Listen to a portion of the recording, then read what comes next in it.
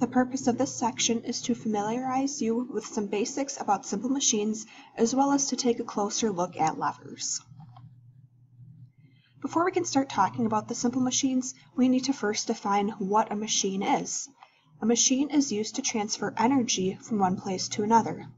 It can allow work to be done much more easily than otherwise possible. In this picture, we have an example of a Rube Goldberg machine. Rube Goldberg machines are purposely over-engineered to perform simple tasks. Specifically, this Rube Goldberg machine needs over eight steps just for the machine to pour a glass of water at the end. Machines have some very specific uses. They can be used to multiply force, like with a pliers or a jack.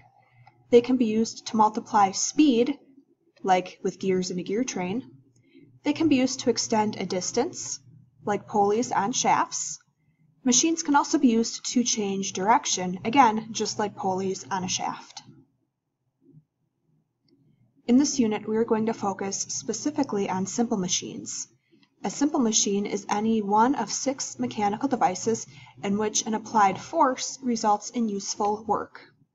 The six simple machines are the lever, wheel and axle, pulley, inclined plane, wedge, and screw. All other machines are combinations of these six simple machines.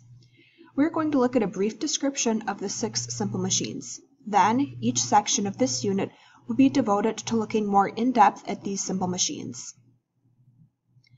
Before we get into the basics of these six simple machines, let's look at a few more things that relate to all simple machines.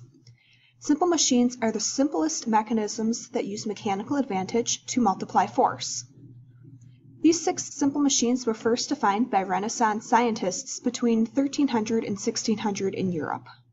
However, simple machines have been around long before they were defined by Renaissance scientists.